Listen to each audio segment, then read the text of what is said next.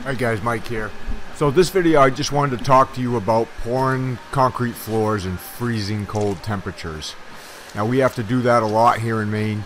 Usually around the middle of November to March we have temperatures that are freezing cold. So about four months out of the year we're pouring in this stuff. And we've been doing it, you know, for 40 years. So we've got pretty good experience about what works, what doesn't work good. Now today on this floor, these people needed this floor done today, even though it's it's like 18 degrees out right now Fahrenheit. But they had to have it done because they had a crew of framers coming in the next day to start framing on this, and they didn't want to delay the framers. So unless it was really bad temperature like snowing or freezing rain or something, they had to have the floor done. So that's why we're here today pouring this when it's 18 degrees out. It's about 6:30 in the morning and the pumper guy here he luckily he got here real early for us so we could get it done and get it in. Now the mix we're using you know we're using a 4,000 pound mix. Now normally on a floor like this in the summer we'd use a 3,000 pound mix. But in the winter we use a 4,000 because the extra cement is going to help generate more heat of hydration as this stuff sets up. So that's one thing we do is we bump it up and add more cement in the mix. And then we're always using a a water reducer so we have a mid-range water reducer in this. And then we got about 140 degree hot water in the mix and that comes right from the boiler at the concrete plant. And when we mix the hot water with the you know with the dry aggregates the concrete temperatures come out about 75 to 80 degrees if we're lucky but usually it's in the 70s and then depending on how long they have to travel this was a little bit over an hour for the trucks to travel here this morning you know that's going to lower the temperatures a little bit too as far as the mix goes so. We ended up with right around 70 degree concrete here. And then we always put an accelerator in it too you know we'll, we'll use bag flake is the best that helps dry the concrete up the best it helps it set up faster. There's liquid cal you can use and then there's liquid non-calcium accelerators that you can use. Depending on what your specs say, what you got in the concrete as far as wire, rebar, and all that. But generally, most time we'll use bag cal, and that works really, really good for us. And then another bonus we have here is this floor has styrofoam under it. So what the styrofoam does for the concrete is it helps hold the heat in the concrete longer. So the concrete doesn't cool off that fast when you get it dumped out, you know, to your four inches, five inches, or six inches thick. We're pouring a four inch floor here today. And then we've got some other areas, as you can see, that are really deep, that are for some type of load bearing beam or something. But the styrofoam is the real key.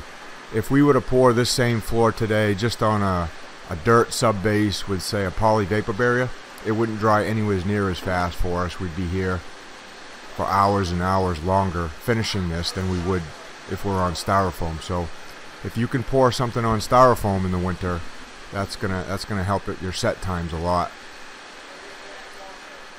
You can see Darren's filling up that really thick spot. But that's about it for the mix design. You know, just 4,000 hot water accelerator with a water reducer, and your your concrete's going to set up on you pretty good.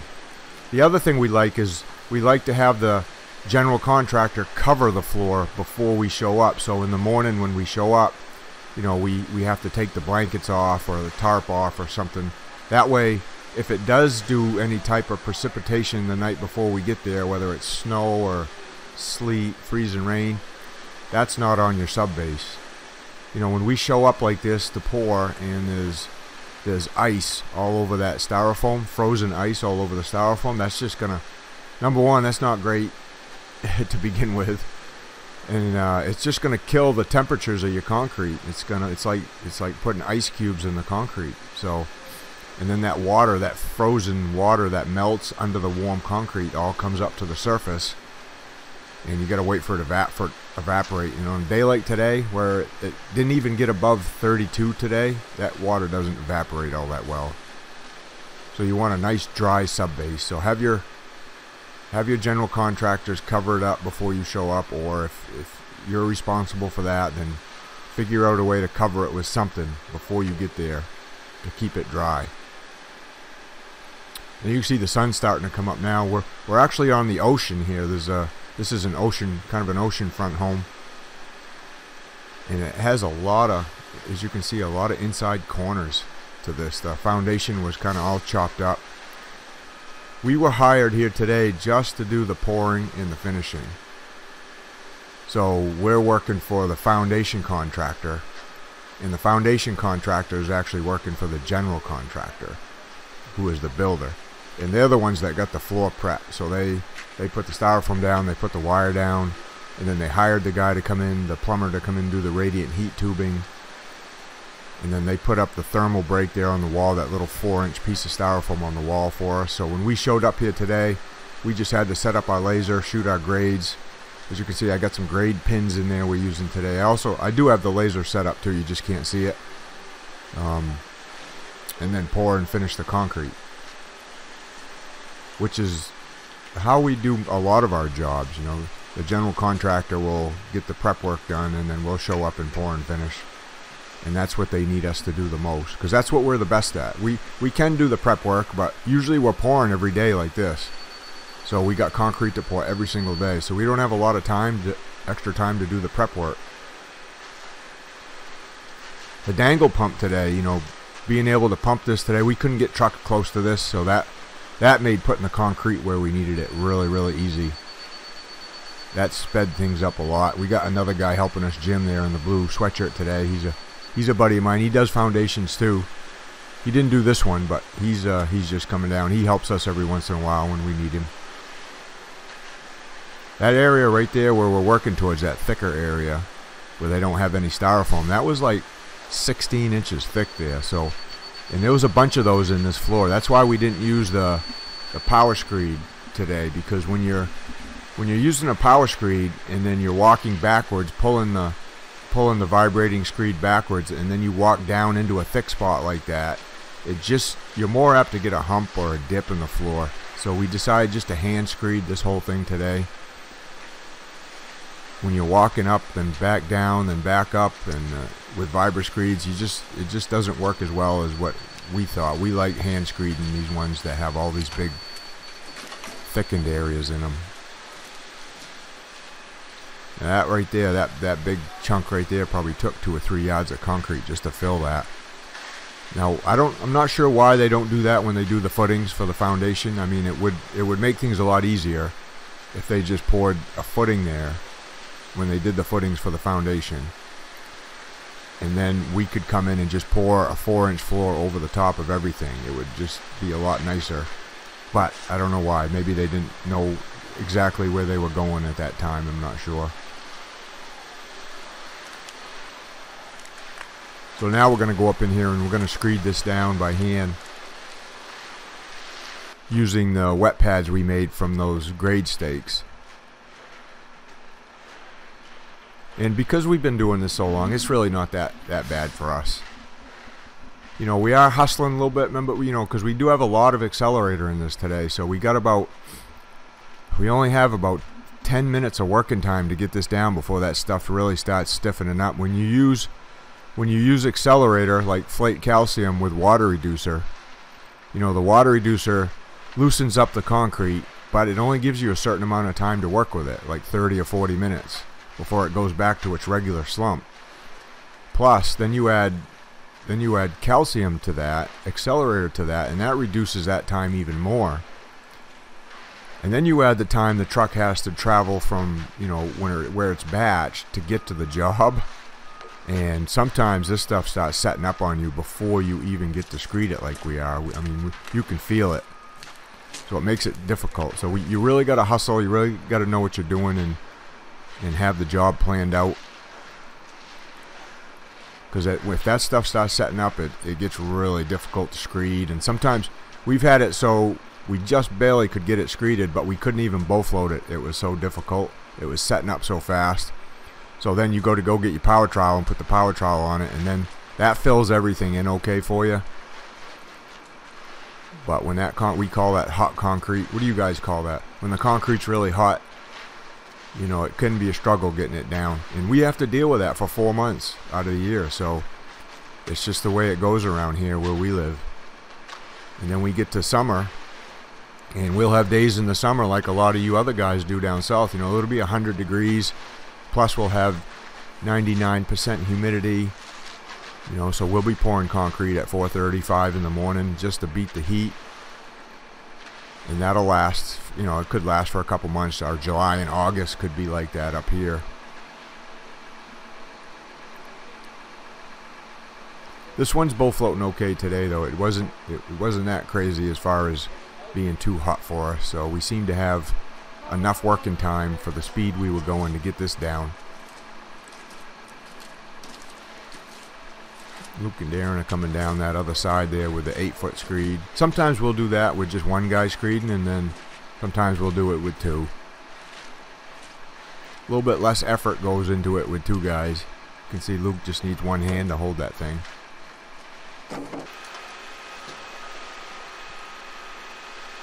Now another thing, you know, you got to be concerned about when you're pouring when it's when it's in the teens is the pump freezing up. So we've had that happen before where the concrete froze right in the right in the pump truck, and then you know he's got to he's got to break down. He's got to he's got to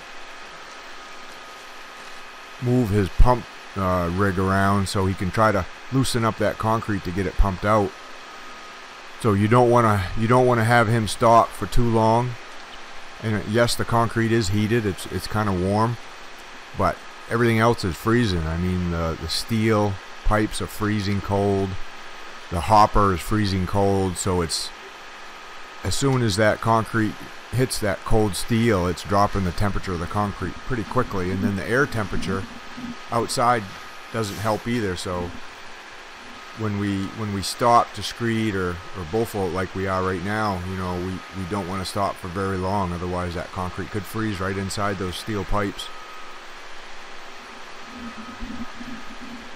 This guy, this guy Norm, he's a good pump operator though. He knows what he's doing. He'd be he'd be able to handle that pretty easily for us, I think, if if we did have something go wrong. He's been operating a pump for years and years. You can see I got my laser set up right there. Another thing I'm doing is, I don't know if you can tell, but underneath that, that fluorescent sweatshirt I have on is I got a black sweatshirt and it's a it's a battery operated heated sweatshirt. and then I got insulated pants on too today. So that helps keep me warm. I get, you know, having done this for 40 years in freezing cold temperatures for three or four months every single year, I get cold pretty fast now. You'd think I'd get used to it, but I don't it actually gets worse and worse as I get older. I get cold faster and faster. So that having that battery operated heated sweatshirt on is a, is a big big difference. This is the first year I've got one of those. I'll have a link for that down in the description if you guys want to check that out. But that thing, I wear that thing every day. It takes a Milwaukee M12 battery, and I've got two or three of those batteries. So they, a battery will last, you know, two or three hours probably if I have it on high. I can just switch out the batteries and recharge them and keep it going all day if I need to. Usually just mostly in the morning though is the is the worst part, but that thing heats up nice and hot. I got heated jackets for the guys too. They don't wear them during the pour because they don't want to get them dirty, but they'll wear them afterwards. And those jackets work really good too. Luke's over there screeding that by hand now, that same 8 foot screed you see. Now we're going to get this ripped down. And we're walking right through that really thick pot. You can see it's almost over Luke's boots right there. That's why with a, with a regular hand screed like this, you can stop and start as much as you need to without really worrying about any high or low spots. And that's the difference between doing it with a hand screed and doing it with a, a vibrating screed. It's you don't really want to stop and start much with a vibrating screed. You just want to slowly work your way backwards until you're done. But we had to kind of worry about getting it over our boot right there.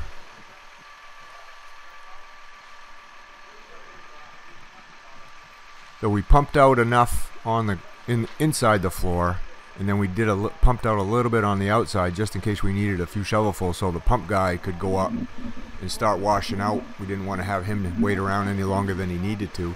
He actually had another pump job to, right to go to pretty quick. So we wanted to get that concrete out of his truck and get him washing up, get him out of there.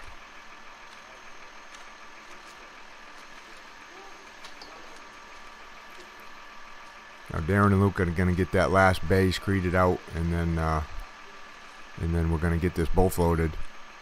Now Darren and Luke hung around today to, to power trowel this nice and smooth, and it they ended up getting done. They said about three o'clock in the afternoon. So we got done pouring. It was about 6:30 when we started. It took us just a little bit over an hour. So let's, let's say seven between 7:30 and 8, we got done in the morning. And then by three o'clock, this thing was all power troweled out, smooth, burnt out, shined out, whatever you guys call it. So in about seven hours, this thing set up really, really good, and it the temperature never got above 32 degrees today. So that just goes to tell you, you know what what you can get away with as far as pouring concrete if you got the right sub base and you got the right concrete mix. And you can see some of the blankets right there the general contractor came back and he, he ended up putting the blankets on this thing to cover it up for the night.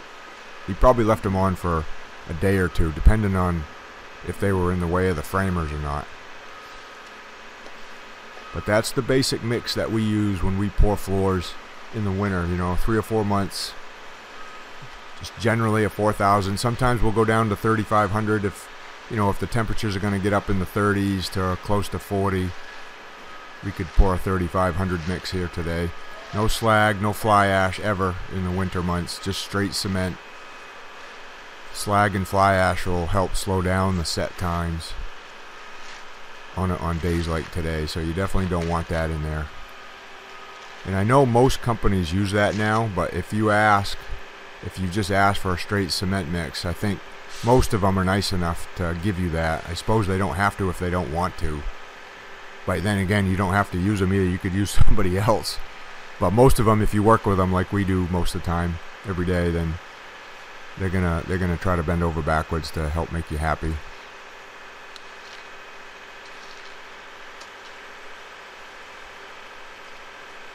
So I'll get that bull floated up, and then we'll get it smoothed out, and then Darren and Luke are gonna hang out. I'm gonna go look at some other jobs, get some other stuff ready for for fall for pours coming up. And then these guys are going to hang out here today and get this finished.